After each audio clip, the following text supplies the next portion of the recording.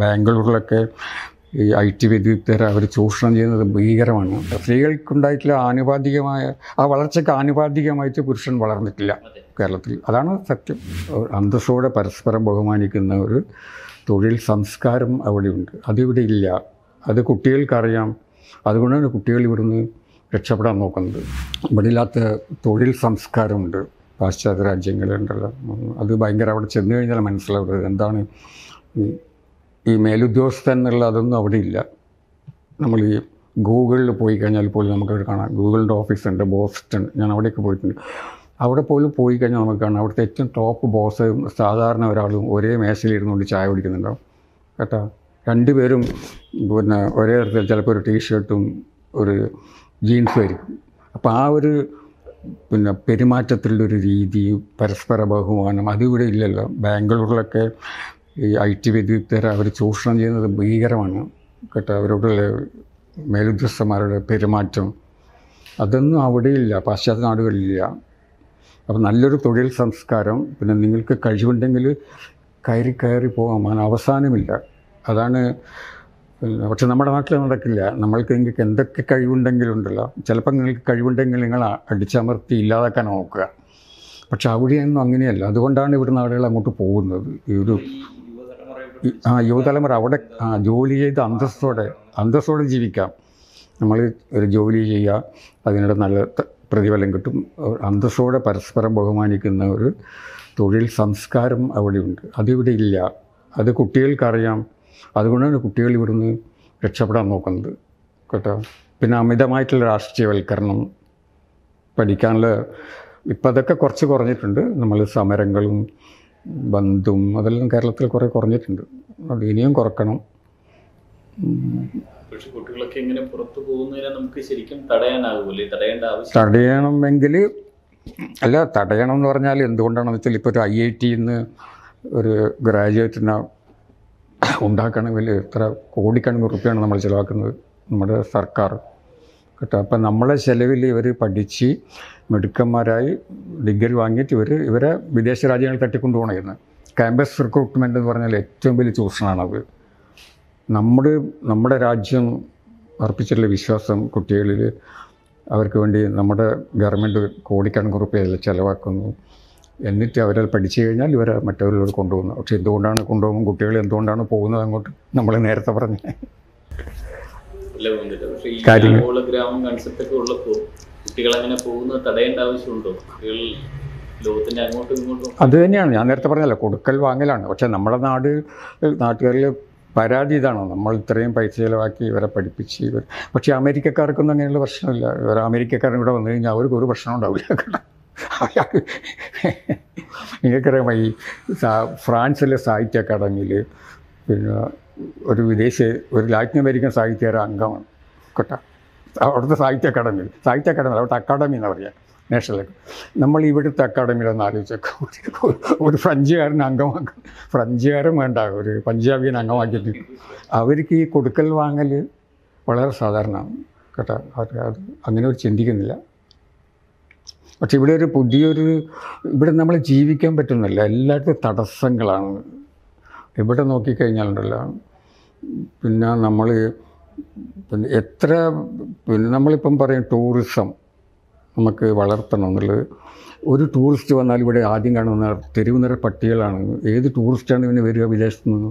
അതൊന്നും ഇവർ ചിന്തിക്കുന്നില്ല. എന്നിട്ട് പറയും ഞങ്ങൾ ടൂറിസം വളർത്തുകയാണെന്നുള്ളത് കാരണം തെരുവിൽ പട്ടികൾ അലഞ്ഞു നടക്കുന്ന ഒരു സ്ഥലത്തേക്കുണ്ടല്ലോ. ഇവിടെ കൊച്ചിയിൽ ഫോർട്ട് കൊച്ചിയിൽ എത്ര പട്ടികളാണ് നടക്കുക അങ്ങനെ അപ്പോൾ പലരും പിന്നെ വരില്ല അത് അറിഞ്ഞു കഴിഞ്ഞാൽ പക്ഷെ അതുപോലും നമുക്ക് സാധിക്കുന്നില്ല. തെരുവിലെ പട്ടികളെ നിയന്ത്രിക്കാൻ പോലും നമുക്ക് സാധിക്കുന്നില്ല.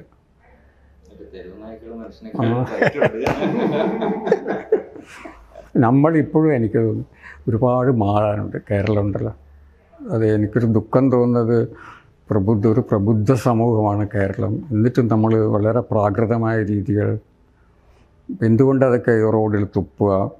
റോഡിൽ തുപ്പുക എന്നൊക്കെ പറഞ്ഞാൽ നമ്മൾ കാർക്കിച്ച് തുപ്പുക എന്നുള്ള ഒരുപാട് രോഗാണുക്കളിൽ അതിലുള്ളത് മുഴുവൻ അതുപോലും നമുക്ക് സാധിക്കുന്നില്ല.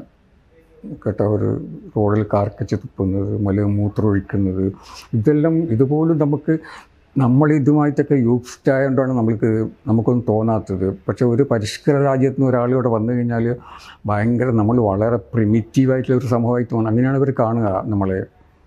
പക്ഷെ നമ്മൾക്കതൊന്നും മനസ്സിലാകുന്നില്ല.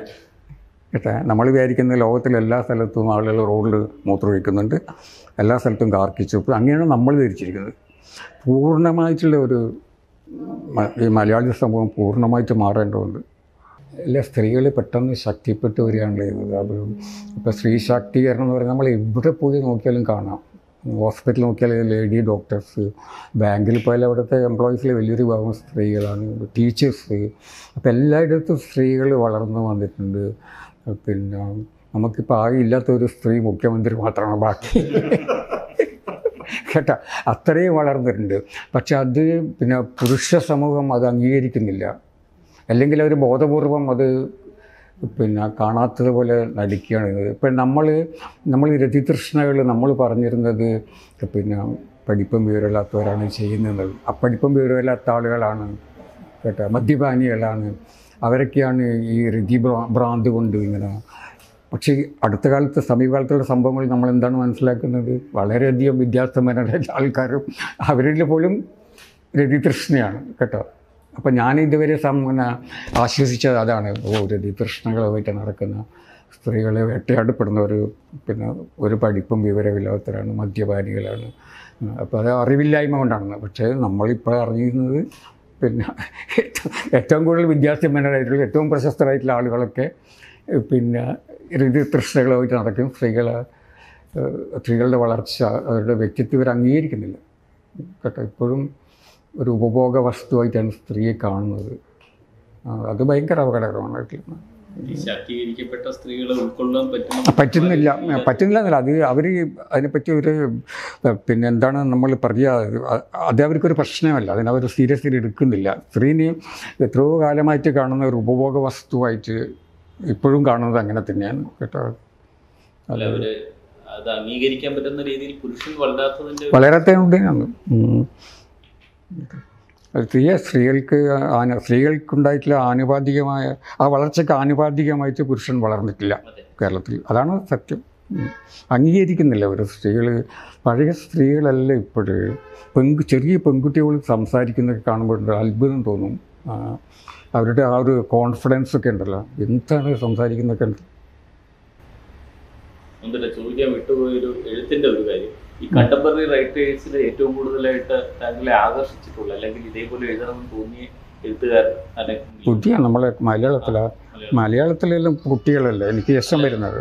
പഴയ കാലത്താണ് അന്ന് ആ കാലത്ത് എനിക്ക് കൂടുതൽ ഞാൻ ഇഷ്ടപ്പെട്ടിരുന്നു റൂബ്. അന്ന് അവർ കുറച്ച് പേരുണ്ടായിരുന്നു തകഴിയും തകഴീനൊക്കെ എനിക്ക് വളരെ ബഹുമാനമായിരുന്നു.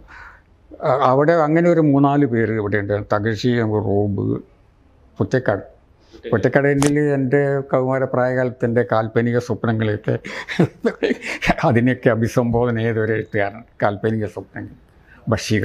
അവരെല്ലാം എന്നെ ഒരുപാട് ആകർഷിച്ചിട്ടുണ്ട് പക്ഷേ അത് എന്റെ കൗമാര പ്രായത്തിലാണ് കേട്ടോ.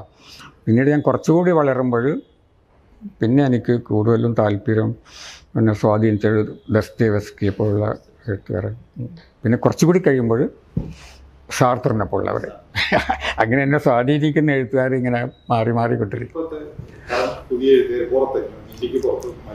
പുറത്താണ് അല്ല പുറത്ത് ഇപ്പോൾ ഒരുപാട് പേര് വരുന്നുണ്ട് കേട്ടോ. പിന്നെ വളരെ നന്നായി എഴുതുന്നവരുണ്ട് പിന്നെ ഈ എനിക്ക് പേര് ഓർക്കാൻ കുറച്ച് ഫ്രാൻസിലുണ്ട് ഒരു ആനി എർണോ എന്ന് പറഞ്ഞ നോബൽ സമ്മാനം കിട്ടിയ രണ്ടായിരത്തി ഇരുപത്തിരണ്ടിൽ ആനി എർണോ. ഭയങ്കരമായി ഭയങ്കരമായിട്ട് എഴുതുന്ന പിന്നെ അവർ അവരുടെ ജീവിതത്തെക്കുറിച്ച് അവരുടെ അവരെ പറ്റി മാത്രം കേട്ട. അവരുടെ പ്രണയം അവരുടെ രതിബന്ധങ്ങൾ പിന്നെ അവർക്കുണ്ടായിട്ടുള്ള ഗർഭഛിദ്രം ഇങ്ങനെ അവരെ പറ്റി മാത്രം പറയുന്നത് പക്ഷെ അത് അവരാണ് പറഞ്ഞത്. ഈ ഈ ആനി എർണോന് നോബൽ സമ്മാനം കിട്ടിയ സമയത്ത് ഒരു യുവ എഴുത്തുകാരി എഴു അവരെ കണ്ടപ്പോൾ ചോദിച്ച് എനിക്കെന്ത് ഉപദേശമാണ് തരാനുള്ളത്? ഞാൻ എങ്ങനെ എഴുതണമെന്ന്? ഈ പെൺകുട്ടി ചോദിച്ചു. അപ്പോൾ അവർ പറഞ്ഞു എങ്ങനെ വേണമെങ്കിലും എഴുതിക്കൊള്ളും കേട്ടോ? കേട്ടോ ഏത് ശൈലിയിൽ വേണം എഴുതിക്കൊള്ളൂ പക്ഷേ നീ എഴുതുന്നത് യാഥാർത്ഥ്യമായിരിക്കണം സത്യം ആയിരിക്കണം കേട്ടോ? അതാണ് പറഞ്ഞത്. അത് തന്നെയാണ് എം പുതിയ എഴുത്തുകാരോട് പറയും. ആ അത് തന്നെയാണ് ഞാൻ പറയുന്നത് അത് തന്നെയാണ്. എനിക്ക് പറയാനുള്ളത് അത് തന്നെയാണ്. എങ്ങനെ വേണമെങ്കിൽ എഴുതിക്കൊള്ളൂ. പ്രായോഗികമായിട്ട് എഴുതിക്കൊള്ളൂ അവാർഡിന് വേണ്ടി എഴുതിക്കൊള്ളൂ എങ്ങനെ വേണമെങ്കിൽ എഴുതിക്കൊള്ളൂ. കേട്ടോ? പക്ഷെ അതിൽ യാഥാർത്ഥ്യം ഉണ്ടാകണം സത്യം ഉണ്ടാകണം. അത് മതി. എല്ലാ സ്ഥലത്തും ഞാൻ കേൾക്കാറുണ്ട്. ഈ തൊഴിലാളി പിന്നെ ഇതുണ്ടല്ലോ സൗന്ദര്യശാസ്ത്രം എന്നൊക്കെ പറഞ്ഞിട്ടുള്ള വാസ്തവത്തിൽ തൊഴിലാളികൾ ഇല്ലാതാകുകയാണ് ചെയ്യുന്നത്. ഇപ്പം ഞാൻ പറഞ്ഞ രണ്ട് കാര്യങ്ങൾ എന്നൊരു ഉദാഹരണമാണ് കേട്ടോ. തൊഴിലാളികൾ ഇല്ലാതാകുകയാണ് ചെയ്യുന്നത്.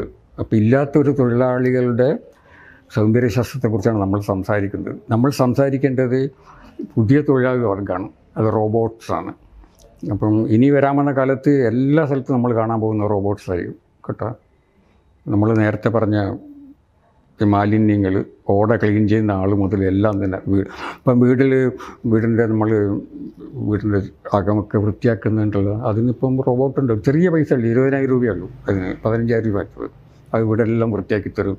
അപ്പോൾ ഇനി തൊഴിലാളികൾ ഇങ്ങനെ ഇല്ലാതെ ഇല്ല ഇല്ലാതായി പോവുകയാണ്. അപ്പം ഈ റോബോട്ട്സിനെ തൊഴിലാളികളാക്കുന്നതാണ് ഈ നവമുതലാളിത്തത്തിന്റെ താല്പര്യം. എന്തുകൊണ്ടാണെന്ന് വെച്ചാൽ റോബോട്ട് തൊഴിലാളിക്ക് ശമ്പളം കൊടുക്കണ്ട.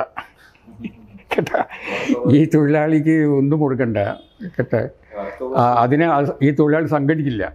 റോബോട്ട് തൊഴിലാളി സംഘടിക്കില്ല. ശമ്പളം കൊടുക്കണ്ട. മാത്രമല്ല ഇരുപത്തിനാല് മണിക്കൂറും പണിയെടുക്കും. കേട്ടോ? അപ്പോൾ അവർക്ക് ഈ നവമുതലാളിത്തത്തിന് തൊഴിലാളികളെ നമ്മളെപ്പോലുള്ള മനുഷ്യ തൊഴിലാളികളെ മുഴുവൻ ഇല്ലാതാക്കിയിട്ട് ഒരു റോബോട്ട് തൊഴിലാളികളെ കൊണ്ടുവരിക അവരുടെ താല്പര്യം. കേട്ടോ? അപ്പോൾ ഇങ്ങനെയുള്ള വിഷയങ്ങളെക്കുറിച്ച് എന്തുകൊണ്ട് ഒരു സ്ഥലത്തും നമ്മൾ കേരളത്തിൽ ഒരു ചർച്ച നമ്മൾ കാണുന്നില്ല. അല്ലേ? അതുകൊണ്ട് തന്നെ നമ്മൾ നമ്മൾ ഭാവി കാലത്തെക്കുറിച്ച് നമ്മൾ ചിന്തിക്കുന്നില്ല. ഇടതുപക്ഷമൊക്കെ ചിന്തിക്കേണ്ടത് ഭാവി കാലത്തെക്കുറിച്ചാണ് കേട്ടോ ഇനി വരാൻ പോകുന്ന കാലം.